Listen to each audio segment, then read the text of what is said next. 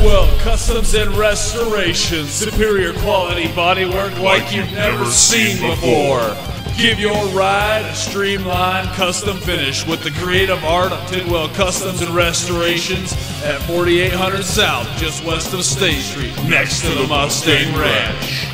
The professionals at Tidwell Customs and Restorations use state of the art techniques to shape and repair your hot rod to meet the utmost standards of excellence.